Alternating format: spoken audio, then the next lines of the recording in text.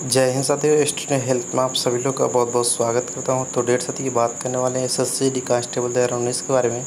साथियों, आप काफ़ी दिनों से इंतज़ार कर रहे हैं कि हमारे S S C D constable दो हज़ार अठारह का रीमेडिकल कब होगा साथियों? लेकिन साथियों, अब आपका रीमेडिकल होना बहुत ही मुश्किल हो गया है।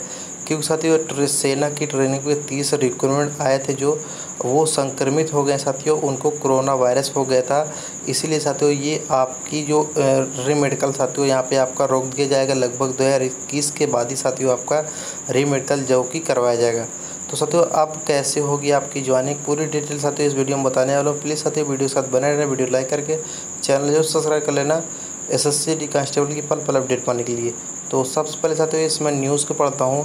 ट्रेनिंग पर आए लखनऊ छावनी रिक्रूट कोरोना पॉजिटिव मिले। इन्हें सेना के बेस अस्पताल में भर्ती कराया गया है।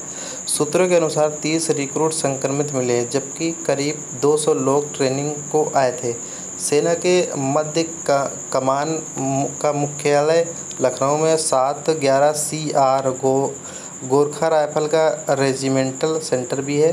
सेना के जुड़े सूत्रों की माने तो मेडिकल ट्रेनिंग के लिए 26 जून को देश भर के करीब 200 रिक्रूट आए थे। कोरोना के प्रकोप को देखते हुए उन्हें आते ही एहतियातन 14 दिन के लिए क्वारंटाइन कर दिए गए। इसी बीच टेस्ट में कोरोना के मामले उजागर हुए हैं। इसमें 30 रिक्रूट के पॉजिटिव होने की बात सामने आई, आ रही है। हालाँकि इस बारे में सेना के अधिकारी कुछ भी बोलने को तैयार नहीं है।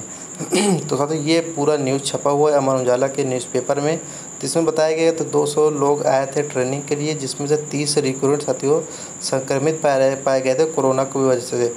अब साथियों, बात कर लूँ कि इसमें ज्वाइनिंग कैसी अब होगी? जब साथियों, सभी की रेमेडिकल वालों की ट्रेनिंग मतलब कि रेमेडिकल हो जाएगा तभी साथियों सबकी ज्वाइनिंग एक साथ करवाई जाएगी अलग अलग साथियों किसी की ज्वाइनिंग नहीं करवाई जाएगी।